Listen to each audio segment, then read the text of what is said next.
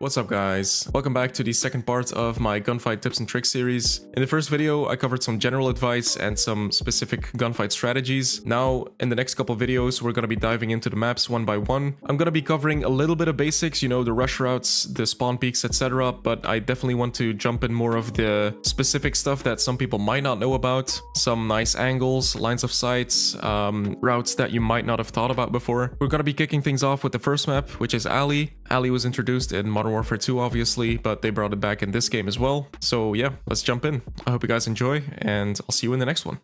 Alright, so we're on Alley. As you can see on the tag map, Alley is one of the gunfight maps that is actually perfectly symmetrical. And there's basically four major routes that people push on Alley. You can go mid, you can go water tank, you can go underneath, or you can use the wide swing and cross the bridge.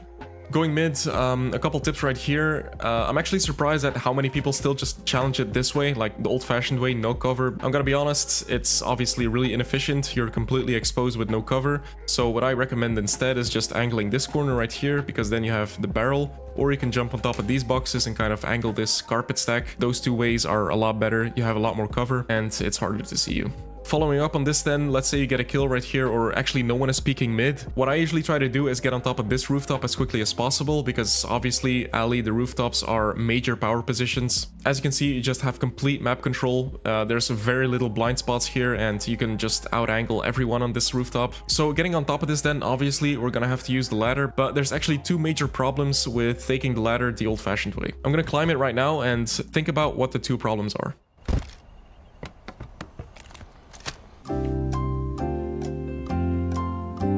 Okay, so first of all, I hope you guys noticed that it's excruciatingly slow to just climb it all the way bottom to top. And secondly, you actually produce a distinct climbing sound when you go from bottom to top. Listen closely. That sound is something that people with even the most cheap-ass McDonald's headsets will hear, so they will hear you coming and if they're on top here or they're inside this building, they will know you're on top and they just already know where you are. So the way to get around it then, get on top quicker and quieter, is actually by jumping on top of this barrel first, and then just jumping on top of the ladder like this. It's a lot quicker and, as you'll notice, you don't produce any climbing sound.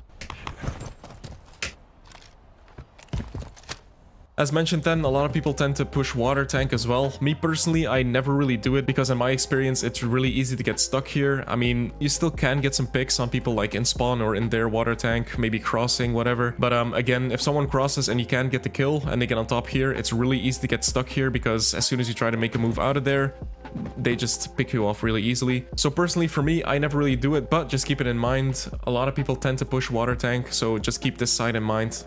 A lot of people tend to be here. Going underneath then is something I don't really do that often. Um, it can work as like an oddball play uh, because people might not expect it and if you can make it all the way into their spawn without them noticing you, you'll usually get a free round because they will have their backs on you. One good thing about this route though is uh, if you lay down right here, you can actually see the cross from under the bridge. If you move this way and check the cross on this little platform like I usually do, in some situations your opponent is just an absolute demon and he just completely lasers you every single time, then it can actually work to just go underneath and actually lay down right here. And uh, yeah, this is a really good oddball peek to get some damage on him or even a kill, and he will most likely not expect that. And then lastly, obviously, the rush route straight here on top. Um, this is something that I would say 90% of alley players do, is just go straight on top of this rooftop. So let's say you want to get on top of this rooftop, but you're a little late to it, and you already know the opposition is going to be on top of that one. What I usually avoid then is going straight on top, because right here, this double mantle, um, it just takes a lot of time, especially with the slower gunfight loadouts, which leaves you exposed to people already on top of that one, and you just get absolutely lasered. What I recommend instead is actually jumping on top of this little platform, and as you can see right here, you have this little plant pot. If you jump on top of this, you actually have a pretty good view of the opposite rooftop. And um, I can't really show you right now, but even if they're laying down, you can actually still see their upper back and head sticking out, so you can get some damage or even a kill. And uh, this is a really good line of sight. On the opposite side, it's actually an upside down shopping cart. So on this side, it's an upside down shopping cart. And again, if you jump on top of it, you have a pretty good view of the rooftop. And it's a more advantageous position to uh, challenge this angle from. This is low-key insane. Talking about these buildings then, um, I rarely go inside them because it's pretty easy to get stuck in there, um, but it is rat spot number one. If you're playing campy opponents, uh, a lot of people will tend to go like inside this building, kind of just lay down behind this counter and wait for other people to push.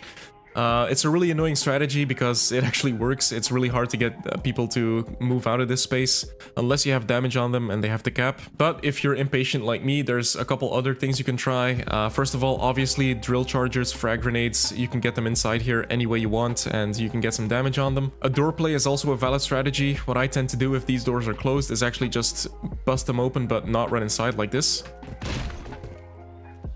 What happens then is they usually start frantically shooting, but if no one actually enters, that'll give you like one or two seconds of confusion where they stop shooting, and that can be the moment where you just rush back in and get the kill. Another way to go ahead and deal with these people is wallbang these doors. If these doors are closed but you know that they're behind the counter, you can just start blasting through them, get some damage, maybe even the kill, uh, and that's also a valid way to go about it. And then lastly, an angle you guys might not know about is actually climbing on top of this billboard right here and then laying down. You actually have a pretty good view of uh, inside behind the counter. So if they're in that corner, you can just kind of hold them from here. Uh, this is one of those oddball angles that people might not be uh, expecting. A couple more spots then where people tend to hang out are these back huts right here. I don't really know why people tend to sit here because the angles you can hold are pretty bad, but people still do it. And if you're playing a campy round of alley and people tend to hide, make sure to check these little uh, back corners because people might be hiding here. Another popular angle is on top of these carpets right here. Uh, people tend to sit on this angle a lot to pick off people going on top. It's a pretty bad angle, honestly, because you're at a disadvantage. People on the rooftops have elevation on you, but still people tend to sit here a lot. So this is actually one of the angles that I check first if I get on top of the rooftops.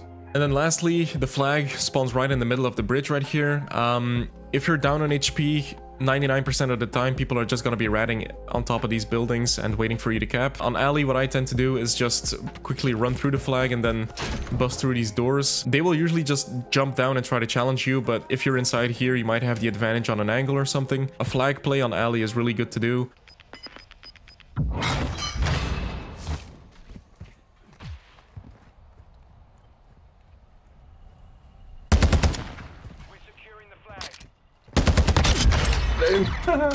nice Beto. Another nice strat on alley, which actually works, is getting on the side of the bridge like this.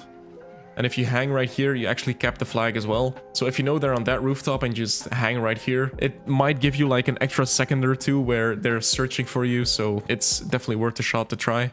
Alright, so I think that's gonna do it for Alley. I kind of want to keep it short, sweet, and simple. I hope you guys at least learned something new. Obviously, Gunfight, like any other game mode, just takes a little bit of experience. The best way to get to know these maps is just to play them. That way you'll quickly discover which angles people tend to hold, which routes people tend to push. But I hope I showed you guys a couple things that you might have not known. Anyways, next up is gonna be Blacksite. I hope to see you guys over there. I really appreciate the support, and I'll see you in the next one.